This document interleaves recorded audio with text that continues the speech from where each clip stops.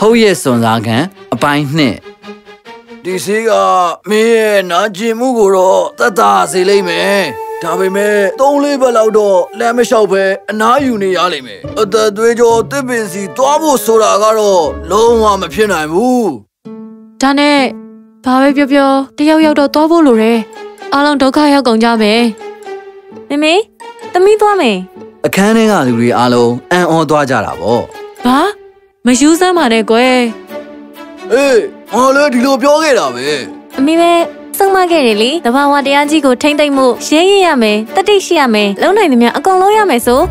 တကယ်အချိန်ကြမှာဘာဖြစ်လို့သမီးကိုမသွားခိုင်းရတာလဲမမေရဲ့ပြန်ပြောစရာစကားမရှိတဲ့လင်နာခင်ဗျာနှုတ်ဆိတ်လို့သာနေတော့တာပေါ့စိန်ဝမ်းမှုဟာလင်နာရဲ့သပင်ကိုတတ်လိုက်ပြီးသူ့အိတ်ထဲကမြေပုံကို ထုတ်ပေးလိုက်ပါတဲ့မင်းကမင်းမေလိုပဲတတိရှိတယ် မင်းဆုံးဖြတ်ပြီးပြီဆိုရင်တော့ဒါယူသွားဒါပါလေတော့ကမော်မြေပုံပဲမင်းကိုအသက်သွေးကြောတစ်ပင်စီရအောင်လမ်းပြပေးလိမ့်မယ်မင်းသွားနေတဲ့လမ်းမှာအိုက်စကက်ရွာအနေနဲ့ရေမြုပ်နေပြီလားဆိုတာကိုလည်းပြပေးလိမ့်မယ်ဒီမြေပုံကမင်းကိုသတိလွတ်မသွားအောင်အမြဲစောင့်ကြည့်ပေးနေမယ်ကျေးဇူးများကြီးတင်ပါတယ်ပြောပါရယ်ကွယ်အခုတော့မှတ်ထား မင်းဘယ်နည်းနဲ့မဆိုကြာရှုံးလို့မဖြစ်ဘူး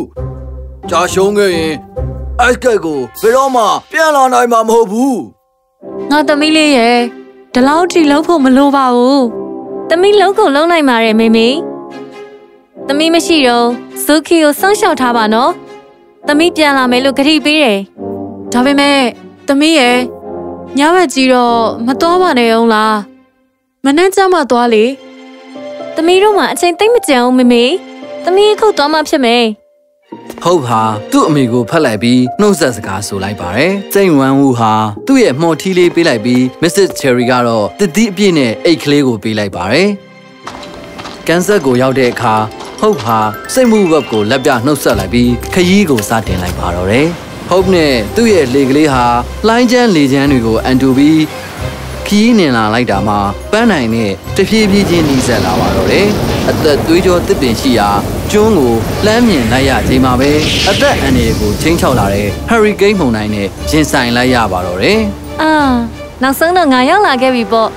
ကျွန်းနဲ့နီးကပ်လာတဲ့အချိန်မှာအလွန်တရာမှပြင်းထန်လာတဲ့မုန်တိုင်းကြီးစတင်တိုက်ခတ်ပါတော့တယ်။ဘလောက်ပဲစူးစမ်းစူးစမ်းတောင့်ခံမထားနိုင်တော့ပဲလှိုင်းနဲ့အတူပါသွားပါတော့တယ်။ တနာစရာဟုတ်ကလေးသတိရလာလို့မျက်လုံးဖွင့်ကြည့်လိုက်ချိန်မှာတော့အသက်သွေးကြောကျွန်းပေါ်ရောက်နေတာကိုတွေ့လိုက်တဲ့အပင်ကိုမြင်လိုက်တဲ့အခါမျောလင်းချက်ရောင်ကြီးလေးတော့တန်းသွားခဲ့ပေမဲ့အဲ့ဒီကိုအရောက်သွားဖို့ကတော့လွယ်ကူပုံမရပါဘူး။မော်မီပုံကိုကြည့်လိုက်တော့ဟုတ်ရဲ့ရွာကလေး ice cat ဟာပင်လယ်အောက်ကိုဝက်နီးပါးရောက်နေပါပြီ။ပူနွေးမိစ္ဆာကြီးဟာပင်လယ်ရေပိုပြီးမြင့်တက်လာအောင်သူ့ရဲ့အပူလှိုင်းတွေကိုအသုံးချပြီးရေခဲတွေကိုအရေးပြောအောင်လုပ်လိုက်ပါတယ်။ မဖြစ်သေးဘူးငါမြန်မြန်သွားမှဖြစ်မယ်အိုက်စကတ်မှာအချိန်သိမ့်မရှိတော့ဘူး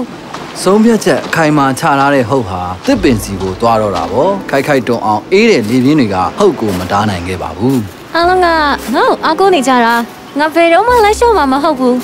တိုက်နေတဲ့လေတူကအရန်အေးလုံးတော့ရှေ့ဆက်သွားနေတဲ့ဟုတ်ရဲ့ခန္ဓာကိုယ်ပေါ်မှာနှင်းတူတက်ဆာပြုတ်နေပါပြီတဖြည်းဖြည်းချင်းနှင်းတွေဖုံးလန်းသွားပြီးအေးခဲသွားတော့မယ်ကြောက်လန့်ပြီးခက်ခိုက်တုံအောင်ချမ်းနေတဲ့ဟုတ်ဟာ သူ့အတွက်အသုံးတဲ့မဲ့ပစ္စည်းတစ်ခုခုကိုရှာကြည့်တော့တာပေါ့အဲ့ဒီအခါမှာသူ့အတွက်စိန်ဝမ်းမှုပေးလိုက်တဲ့မှော်ထီးလေးကိုသွားတွေ့တော့တာပေါ့သူလုံးလုံးအေးခဲမသွားခင်ထီးကိုထုတ်ပြီးကလုတ်ကိုဖွင့်လိုက်ပါတယ်ထီးပွင့်သွားတာနဲ့အပူလိုင်းတစ်ခုဟာရုတ်တရက်ထွက်လာပါတော့တယ်အဲ့ဒီပူလိုင်းလေးတွေကြောင့်နှင်းတူတွေအရေးပျော်သွားပြီးသူမရဲ့ဝေဒနာတွေလည်းပျောက်ကင်းသွားပါတယ်ဟုတ်ဟာကောင်းငင်ကြီးကိုမော့ကြည့်ရင်ပြောလိုက်တာကကျေးဇူးတင်ပါတယ်စိတ်ဝမ်းဟုတ်ရေ ဟုတ်ဟာထီးကိုဒိုင်းသက်ဖွဲအသုံးပြုပြီးတဲ့နောက်မှာတော့အသက်သွေးကြောတစ်ပင်စီရောက်တဲ့အထိဆက်သွားပါတော့တယ်။တတန်းရဲ့အပင်ကြီးဟာသူ့ပတ်ဝန်းကျင်ကအေးဒဏ်ကိုခံစားရပုံမရပဲစိမ့်ဆူတန်ဆွမ်းပြီးထူးခြားတင့်တယ်နေပါတယ်။ဟုတ်ဟာအပင်ကြီးနားကိုကတ်သွားပြီးပြောလိုက်တာကတော့အော်တက်ပင်ကြီးရဲ့သမီးရဲ့မြတ်တရက်ခံချက်ကိုနားထောင်ပေးပါအောင်နော်ပူနေခြင်းမိစ္ဆာကိုနှိမ်နှင်းနိုင်မှု အရှိရဲ့အကူအညီကိုတောင်းခံမို့လာခဲ့တာပါငါအိတ်နေတာကိုဘသူနှိုးတာလဲမင်းဘသူလဲကလေးမ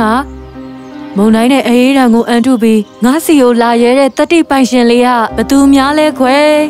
ice cap ရွာကလာတဲ့ဟုတ်ပါအကူကူညီတောင်းခံမှုလာခဲ့တာပါမိစ္ဆာကြီးရဲ့ရန်ကနေကဲပါအောင်ငါကူညီပေးမယ်ဒါပေမဲ့မင်းငါအတွက်တစ်ခုခုတော့ပြန်ပေးရမယ်ဒါနဲ့ မင်းလက်ထဲမှာပိုက်ထားတာကဘာများလဲကွဒီဟာလားဒီဟာကသမီးကိုအိမ်ပြန်ရအောင်လို့လမ်းပြပေးနိုင်မဲ့မြေပုံမှာငါလိုနေတာလဲအဲ့ဒီမြေပုံပဲငါ့ကိုအဲ့ဒီမြေပုံပေးရင်ကောက်ချက်စင်လဲတဲ့မိစ္ဆာကြီးကိုနှိမ်နှင်းပေးမယ်ကောင်းပါပြီယူပါဘာအိမ်ပြန်ဖို့မြေပုံမလိုဘူးလားလိုအပ်ပါတယ်မြေပုံအရှက်စီမပေးရင်ပြန်စရာအိမ်လည်းရှိမှာမဟုတ်တော့ဘူးလေအဲ့ဒါကြောင့်ဒါကိုယူပါ မင်းကငါ့ကိုအံ့ဩအောင်လှုပ်လိုက်တာပဲခလေးမအေးရန်တဲ့မုံတိုင်းတွေကရှာဖွေစွန့်စားသူတွေအတွက်ဘာမှမဟုတ်ပေမဲ့ဒီစမ်းသပ်မှုမှာတော့လူတိုင်းကြာရှုံးကြတာကြီးပဲတခြားသူတွေကသူတို့ပိုင်ဆိုင်တဲ့ပစ္စည်းတွေကိုအသက်နဲ့ယင်ပြီးဖတ်ထွယ်ထားပေမဲ့မင်းကတော့နှစ်ခါတော့မစင်စားပဲပေးခဲ့တယ်ကောင်းပြီလေငါကူညီပါမယ် အဲ့ဒီလိုပြောပြီးအသက်သွေးကြောတစ်ပင်ကြီးဟာသူ့မျက်လုံးတွေကိုမှိတ်လိုက်ပါတယ်။မိခင်တစ်ပင်ကြီးရဲ့တစ်ရွက်တွေဟာလှုပ်ခတ်လာပါတယ်။ကဘာတဝန်းကတစ်ပင်တွေစီကိုလက်ဆက်တဲ့လေနူအေးလေးတွေကိုပို့လွှတ်လိုက်ရင်ပြန်လည်လန်းဆန်းလာစေပါတယ်။ ပင်ပြိုလေးတွေဟာတစ်ပင်တွေဖြစ်လာပါတယ်။ခြောက်သွေးနေတဲ့ပင်တွေကတော့ပြန်လည်တန်ဆွမ်းလာပါတော့တယ်။သူတို့ချစ်ရတဲ့မိတ်ဆွေတွေကိုတွေ့လိုက်ရတဲ့ကြီးကြီးမိတ်ဆွေလေးတွေဟာကောင်းကင်ကနေအပြေးအလွှာသွားနှုတ်ဆက်ကြတာပေါ့။အဲ့ဒီအချိန်မှာပဲပူနွေးခြင်းမိစ္ဆာကြီးရဲ့စွမ်းအားတွေရုပ်ရော့လာပြီးကဘာကြီးကလည်းပုံမှန်ပြန်ဖြစ်သွားတဲ့ကွယ်။မိစ္ဆာကြီးဟာတဖြည်းဖြည်းအိပ်ပျော်သွားပြီးကြောက်တုံးကြီးဖြစ်သွားတော့တာပေါ့မကြခင်မှာပဲကဘာကြီးဟာစိမ့်လန်းဆိုပြေပြီးကောင်းမွန်တဲ့အနေအထားကိုပြန်ရောက်သွားပါတယ် ဘာမှကြောက်စရာမလိုတော့ဘူးနော်ခလေးမလေးရေမင်းရဲ့အိမ်ကိုဘေးကင်းကင်းနဲ့ပြန်လို့ရပြီကြော့ဒီဟာကိုပြန်ယူသွားအသက်သွေးကြောပင်ကြီးဟာဟုတ်ကိုမြေပုံပြန်ပေးလိုက်တဲ့အခါမှာတော့ဟုတ်ကလေးအယမ်းပျော်သွားတော့တာပေါ့အိုးကျေးဇူးပါပဲဖွားဖွားရဲ့ဖွားဖွားကတကယ်ကိုအံ့ဖွယ်တစ်ပါးပါပဲသမီးလေးရောက်လေရမှာအပင်လေးတွေကိုတန်ဖိုးထားပြီးကူညီပါမယ်ကျေးဇူးပါပဲခလေးရဲ့လူတိုင်းမင်းလိုအတွေ့ရှိကြရင်တိတ်ကောင်းပါ တဘာဝတရားကြီးကိုစောင့်ရှောက်ကာကွယ်ပေးဖို့ကဘာတဝန်းကလူတွေကိုဘ ഹു တုတာဖြန့်ဝေပေးပါမယ်လို့ဂရီပေးပါသမီးဂရိပေးပါတယ်သူတို့တွေဟာအချင်းချင်းဆူတောင်းစကားပြောပေးကြတာပေါ့အဲဒီနောက်မော်မြေပုံကိုကြည့်လိုက်တဲ့အခါရွာကလေးရေမြုပ်မနေတော့တာကိုတွေ့လိုက်ရတယ်သူလည်းအိမ်ပြန်ခီးကိုပျော်ပျော်ကြီးစတင်လိုက်ပါတယ်။ရွာကိုပြန်ရောက်တဲ့အခါအားလုံးအဆင်ပြေနေတာကိုတွေ့ရပါတယ်။ရွာသားတွေအားလုံးကလည်းသူ့ကိုတောင်းတောင်းဖြတ်ဖြတ်ကြိုဆိုကြတာပေါ့။ ဟုတ်ဟာသူ့အမေစီကိုအပြေးကလေးသွားလိုက်ပါတယ်။ရောက်လာပြီလားမမေသမီးလေးအရန်ကိုကြောက်နေခဲ့တာသမီးလေးရဲ့မမေရှင်ခွင်နဲ့ပြန်ထွေးဖွေးခွင့်ရတာအယံဝမ်းသာတာပဲသမီးကအားလုံးကိုကယ်တင်ခဲ့တာမင်းသမီးကတိတ်ကိုစိတ်တဲ့ကြက်ခံပြီးတတိရှိတာပဲလင်တို့